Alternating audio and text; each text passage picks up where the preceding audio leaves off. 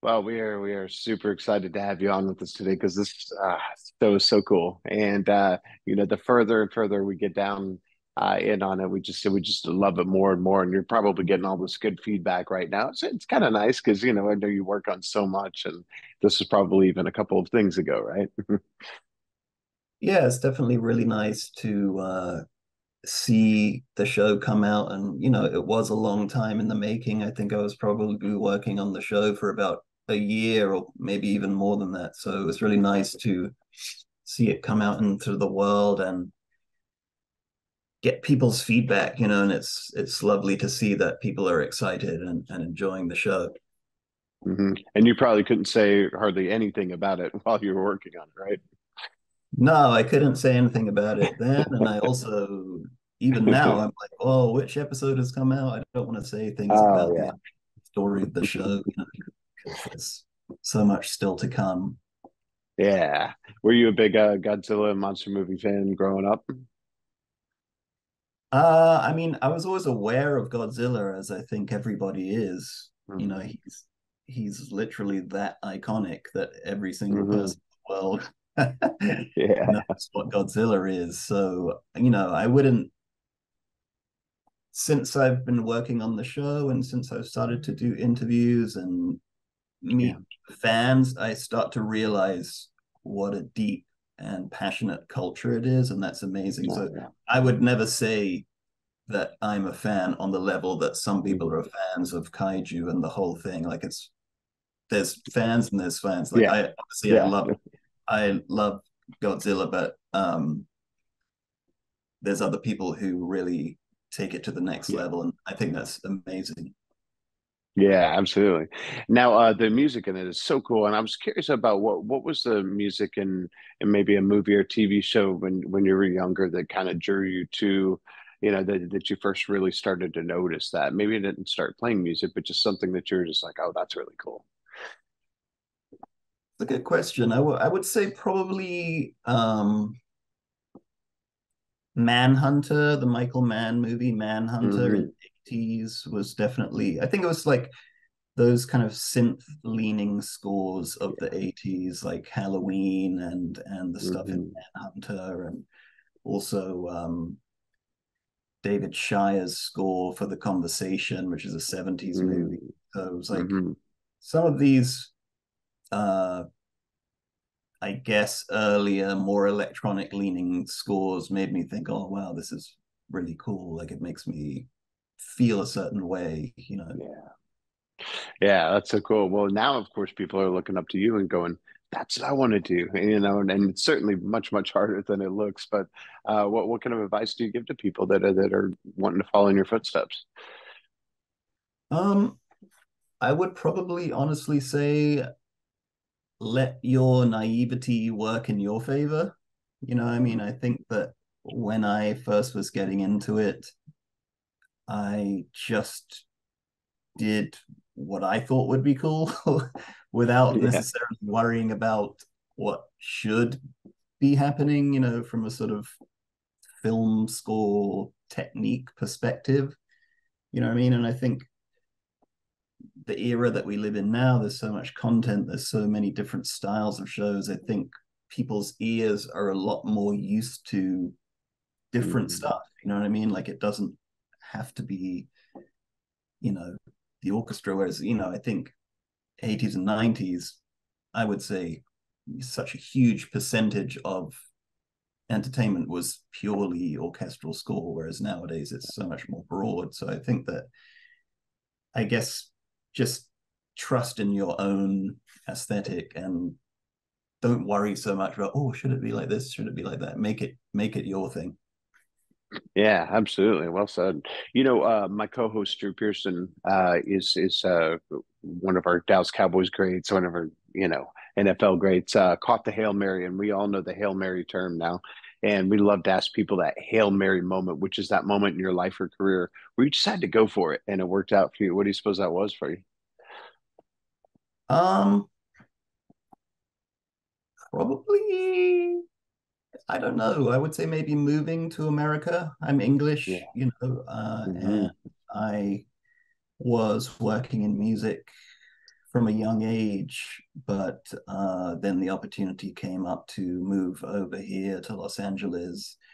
And even though I didn't know anyone really here or anything about the the culture particularly, I just thought, you know, this is where I want to be. And I was already kind of leaning towards making instrumental music. So I thought maybe like, who knows? We'll see what happens. So I kind of took a leap of faith to come here. Um, and that was 20 years ago now. So it was, you know, I guess that was probably a Hail Mary moment because I definitely didn't know how it was going to work out. And I also, you know, in the back of my mind, I was thinking I could be back in England in six months' time. We'll see what happens, you know. Yeah. Well, it's been really cool to watch you and your brother just just rise and do like such great things and and uh, and also now be able to work together and that's fun, right? Yeah, super fun working with him. I always look forward to doing projects with him because really that's been such a constant in my life. You know, he's a little bit older than me. So when I was first getting into music, starting to learn to play guitar and stuff, he was already he had a little studio in London. So I used to just go and like sit in the back of the room and just kind of like absorb what was going on. You know, and then eventually I started, he said, Oh, why don't you play guitar on this? And then we kind of got into a working relationship. So um it's always a it's always a thrill to work with him just because we have such a such a close relationship in terms of music like it's very uh it's very non-verbal like we don't really need to talk we can just kind of we know what each other is thinking and we can just kind of let it flow yeah, I love that. Now, uh, but part of it is, you know, you what you're what you're doing. I'm, I guess you've you've got the magic there behind you, but but it's a very isolated uh, job that you're doing, and, and, you know we're as creative people we're notoriously hard on ourselves. Is there something that you tell yourself that kind of keeps you on that right path and keeps you going even when things are tough? It's a good question. It is definitely you touch on a word there isolating it is very isolating particularly in the um, composing lane there's a lot of lonely hours spent so I don't know if there's anything I tell myself, but I do try and um, more and more I try and like find little moments where I can step away and uh, you know like take my dog for a walk or do something like to just come out, get out of the headspace for a minute because I mm-hmm. find that that's more effective than you know banging my head against the wall. You know often if i can take a little break then i can come back in and i'll be more like oh yeah we just need to do a b and c and it's really not. It's not the drama that i had set it up to be in my head. Yeah. yeah. Well you know it is kind of interesting. I don't think people always understand you know what it looks like when you're doing this but um you know of course you you know you get something on a screen usually. But uh with this i i don't know how much of it was done. I mean was it, did you actually see godzilla or did you just see sort of like okay here's where he's going to be a little tennis ball or wherever where just that they filmed it? Uh they use a lot um, things called animatics, which is yeah. sort of like uh, an animated rendering of what they yeah. think the scene's mm-hmm. going to look like. so it's kind of challenging in that perspective because it's definitely what I learned during the course of the show is it's not exactly what the what the yeah. scene's going to look like. Of course, it's not because there's so many different variables. So it's sort of like you have to do a little bit of um, leaving it a little bit broad strokes in when mm-hmm. it, when you're in that stage. It's go okay, well, I can see what's going on in the scene, and I can kind of get a general tempo going. But until I get those visual effects much closer to being finished, I won't be able to get it really tight with the with the cuts and stuff. So um but yeah, it's definitely challenging in that perspective and sort of not knowing exactly what it's mm-hmm. going to be. You know, that's an, an, yeah. an element of uncertainty that you don't always. Uh, it's not. Mm-hmm. You know, it's difficult. Uh, do, do you ever go back and watch, uh, you know, what, what you've done and go, oh, that's what it looked like? no idea. with this show, I with this show, I definitely have watched a couple of episodes on broadcast just because a I wanted to see what it sounded like coming out of a TV, and b what you say is true. Like visual effects take so long that mm-hmm. there's uh some episodes where like I don't think I saw the final visual effect when mm. when we were mixing the episode. So it's like I want to see the actual yeah. final version, you know. but I've been really um pleasantly uh surprised. I'm not surprised, but like the level of quality of the visual effects I think is super high end and, and it looks fantastic. So it's great to see that.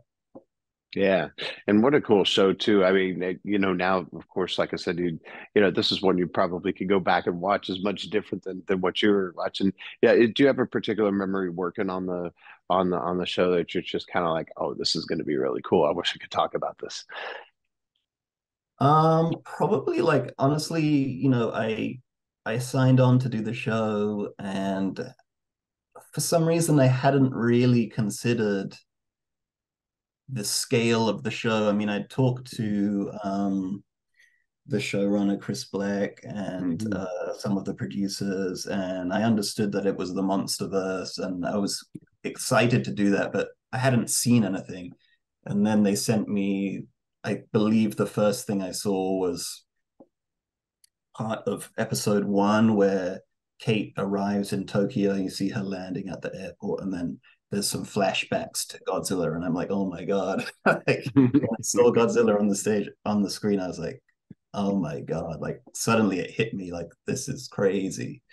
So that was mm-hmm. really really exciting, and that was kind of like a catalyst for my writing. Like when I saw that, I was like, I got so excited by the opportunity to be able to make music for such an icon like Godzilla that I really uh, just started uh, the the creative juices started flowing from there, and um, actually, I kind of like put the main title together. Just that was one of the first things I wrote. It just came, I think, mm. in that wave of excitement. I just did that.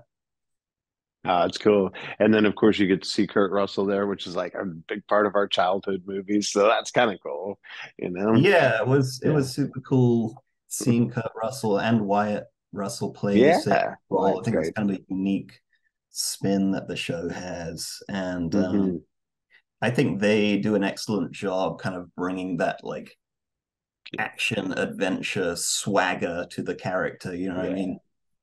Mm-hmm. Nah, it's so cool. And so now, of course, after hearing this um, and seeing it, um, I'm, I'm very curious and excited to know what you're working on next. Um, I have a uh, there's a show called Shogun, which comes yeah. out in uh, February, which I'm really excited about. It's a big, um, ancient Japanese epic. Yes. Uh, I, I, mean, they made it in the 80s. This is like a remake of that James Clavell novel, I believe, right? That, that yeah. novel. And it's the scale and the attention mm. to detail and the level of production is really off the charts. I mean, it looks stunning. So I'm super excited uh, for the release of that. And I did that one with Atticus as well. So that was fun. Okay. We recorded a lot of um, traditional Japanese instruments and then uh, put our spin on it, put our effects on them. So it's a it's a super fun score. Oh, that's great. Well, then, last thing, then, of course, you know, on that same note, uh, you, you always have to find ways to keep things interesting and challenge yourself. And well, for the score, what was uh, the thing that you did that was kind of like, oh, this is this is different for me? Uh, for, for Monarch? yeah, for for Monarch, yeah. Mm-hmm. Um. Well, I think the thing for me was like I wanted to make sure that and this is something that we spoke about with the producers as well like yeah. how do we keep it within the aesthetic of monsterverse but also mm. give it our own spin and make it uniquely its own thing so from from a from a musical perspective i wanted to kind of lean a little bit more into my uh, electronic sensibilities, just because I felt like that's something that you haven't seen a lot of with within the Godzilla canon. You know, obviously some incredible composers have worked on the Godzilla movies uh, in recent times, uh, but it's all kind of lent a little bit more orchestral. So I thought, for, for my take, I want to do things something that um, uh, is a little bit electronic, but also aggressive. You know, kind of has the kind of uh, hard edge that I thought could be cool to really kind of amp up those Titan battle sequences and stuff like that. Yeah, love it. Well, we've uh, certainly enjoyed it and can't wait to see Shogun and everything else that you have coming up uh, next. But uh, really appreciate your time today and look forward to talking to you again soon. Thanks a lot. Yeah, I appreciate you hopping on and I really enjoyed it. Yeah. Okay, Thank wonderful. You. Thank you so much. Okay, bye. Bye.